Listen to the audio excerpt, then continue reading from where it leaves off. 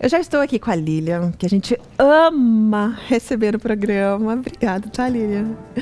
Para falar a respeito de higiene íntima com o seu filho adolescente, tá bom? E a Liliane tá aqui porque ela é especialista no assunto, educadora sexual, enfim, vem comigo nessa conversa. De pequenininho, oferecimento Fraldas Mili, conforto e segurança para seu bebê. Que eu falo, é que eu falo Lili, toda vez que a Lili chega. A Lili já é tão íntima, gente. Eu falo Lili, Lili, Lili, Lili. Tá bom. Não, mas vamos lá. Ô Liliane, vamos, vamos começar pelo seguinte. Muita gente já tem filho adolescente em casa. Uhum. E daí o adolescente, vai até que idade adolescente? Ah, hoje a adolescência está bem tardia, né? Tá, né? Fisiologicamente, a adolescência uhum. vai até por volta dos 18 a 20 anos, mais 18. ou menos, é. Fisiologicamente, Nossa, 20 sim. Anos, é. Já está virando, né? O adulto jovem que a gente adulto chama, né? jovem. né? É. Tá. E o adolescente? O adolescentinho 13, 14, 13, 12 então, é o iníciozinho, né? Vamos ali o iníciozinho, uhum. Tá, adolescentinho aí de 13 até uns 16, okay, pode ser? Ok.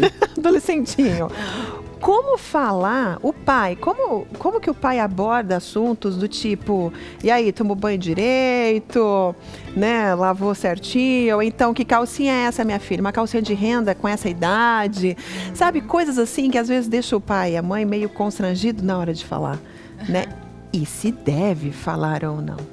Claro, sempre. Se os pais não disserem, quem vai dizer é que é o problema. É então é importante que os pais realmente tenham essa iniciativa de orientar.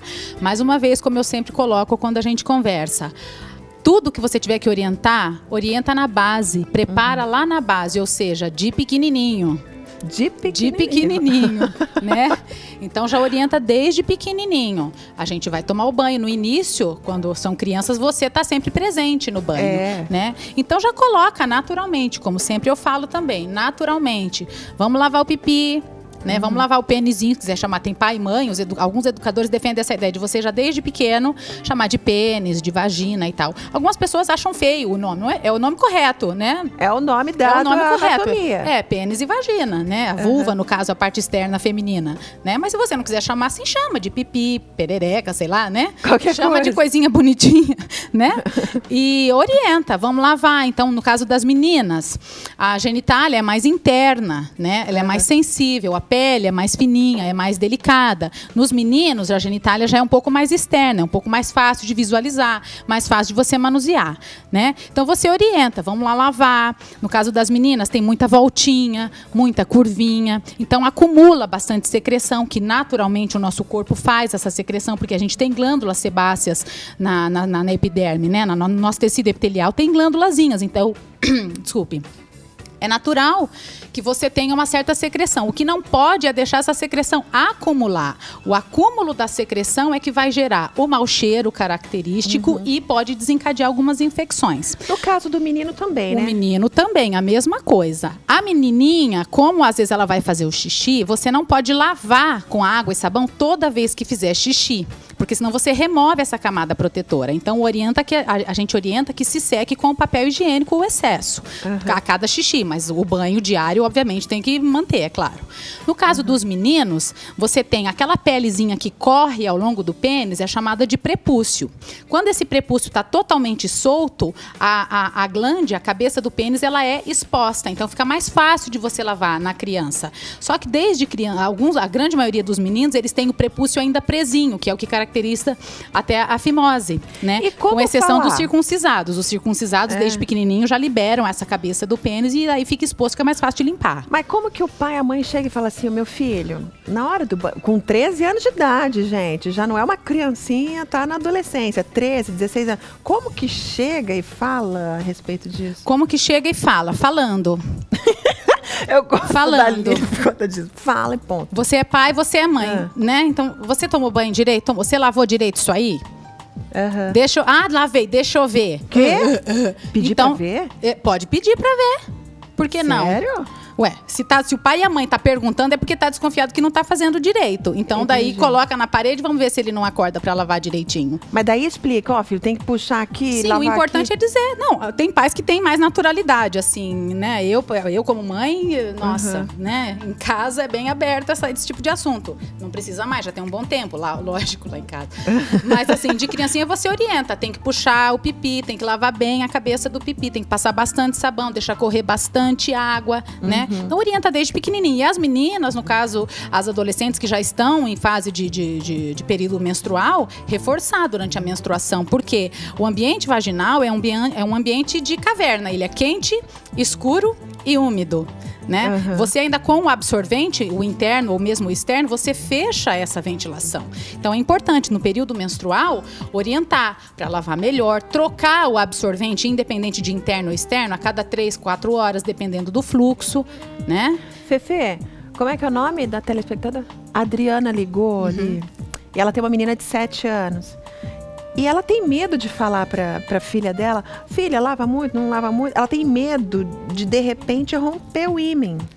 Eu acho que é uma preocupação dos pais. isso. É uma preocupação natural, mas a limpeza que a gente está falando é da limpeza externa. Aham. né? Então você orienta a, a, a, a região íntima feminina, ela é cheia de voltinha, com os pequenos lábios são duas proeminências de pele bem fininha, então tem que ter delicadeza para cuidar, mas não pode ter medo. Aham. Não pode ter medo. Orienta. Filha, deixa correr a água, passa o dedinho, para você Aham. vai sentir que vai sair uma, uma cerazinha mesmo, um sebinho clarinho, esbranquiçado. Tem que tirar isso daí, porque senão cresce bactéria, vai dar mau cheiro, pode dar uma, uma doençazinha de pele. Por fora, né? Adriana. Por fora. Por fora. Por fora, sim. Mas tem que lavar. A- a- a- existe uma, uma- um sulco entre os grandes e os pequenos lábios. A região do clitóris também tem que deixar correr água.